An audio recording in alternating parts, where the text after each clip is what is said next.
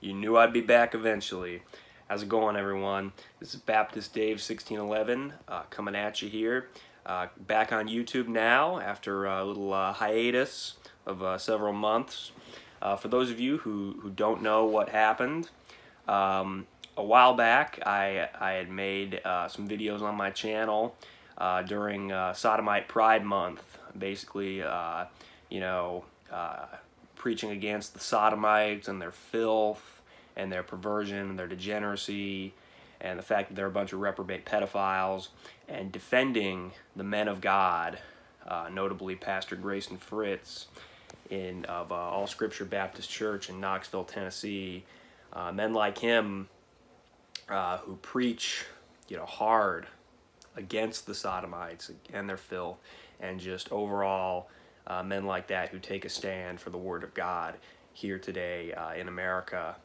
And um, uh, I had made that one video in particular, might have been two actually, uh, in my Air Force uniform. I was with the Air Force at the time, and uh, long story short, um, somebody had, had gotten that video some sodomite or sodomite sympathizer or you know I probably should have known better just because these people pretty much work for Satan full time um, but some you know pervert or pervert sympathizer had uh, gotten the video and essentially doxed me.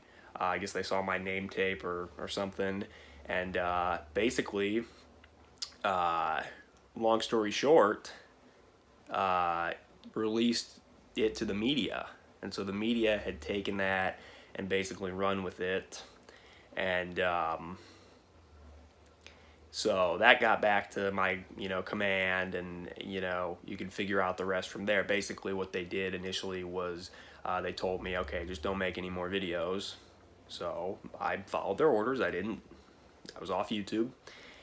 Uh, but then eventually they said, you know what, we're uh, basically the synagogue of Satan and the Jews and the elites and uh, the pervert promoters who, who want to destroy our society had uh, essentially influenced, you know, I believe the politicians in Washington uh, to talk to, you know, the generals, and it basically went on down the chain, and essentially my uh, commander kicked me out. And I don't believe it was his decision or anything, but you know, bureaucracy. He's got people over him. They're pushing for it. He's got to do it.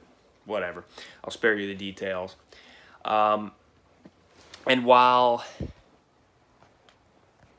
I'm sure it was the intention of whoever, you know, doxed me to the media, I'm sure it was your intention to really ruin my life, but you know, you, you did pretty much the opposite because uh, getting kicked out of the military really was a blessing in disguise. I mean, I'm working another job right now where I'm making more than I was in the military, and I don't have to leave my family to go, you know, guard poppy fields in a desert for, for eight months to support the military industrial complex. Uh, so I'm really happy about that. You know, I mean, this, this whole thing just couldn't have worked out better. You know, the Bible says in uh, Romans chapter 8 that all things work together for good to them that love God, to them who are the called according to his purpose. And, you know, through this whole uh, ordeal the past several months, uh, you know, it's just proven that verse to be 100% true. I mean, truly, God is, is uh, we serve a wonderful God, and, uh, you know, he's done abundantly above all that we ask or think. And, you know, the Word of God is just proven right, like I said, time and time again.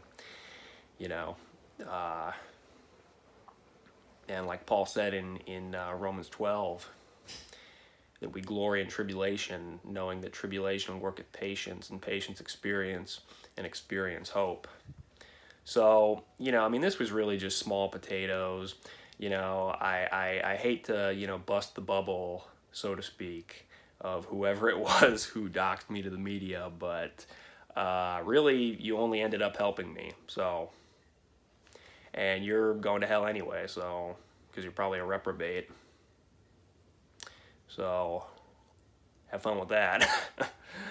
but um, anyway, all that to say this. Baptist Dave 1611 is not going anywhere. He's back and he's better than ever. And I'm coming at you with uh, some good quality content coming down the pipe here. And, uh, you know, all the same uh, King James Bible preaching uh, that you know and love. There's going to be a, a ton of that. So stay tuned. All the brethren out there, stay blessed. Hope you have a great day. God bless.